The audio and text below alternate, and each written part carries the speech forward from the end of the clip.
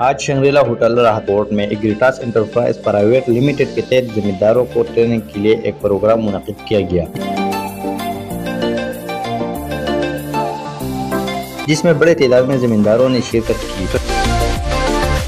Training में जमींदारों को एग्रेटास एंटरप्राइज के नेशनल सीज मैनेजर सलमान नजीर और एरिया सीज मैनेजर मलकन डिवीज़न। सदीकुल्ला ने आड़ो की मुख्तलिफ़ बीमारियों को मुताल तफसील ऐसी आगाह किया। ट्रेनिंग में जमींदारों को आड़ो की मुख्तलिफ़ बीमारियों के आने की वजूहत और इनके रोकथाम के हवाले ऐसी बातचीत की गई की किस तरह बीमारी हमारे फ़सल आरोप हमला करती है और किस तरह हम इनको रोकथाम कर सकते हैं। जमींदारों को एग्रेटास एंटरप्राइज की मुख्तलिफ़ दवाओं के हवाले ऐसी मालूम फराम की गई की कौन सी दवाई किस मरज के लिए इस्तेमाल करनी चाहिए। जमींदारों ने ट्रेनिंग प्रोग्राम को बहुत पसंद किया और आइंदा किए भी इस तरह के प्रोग्राम का इनका का इजहार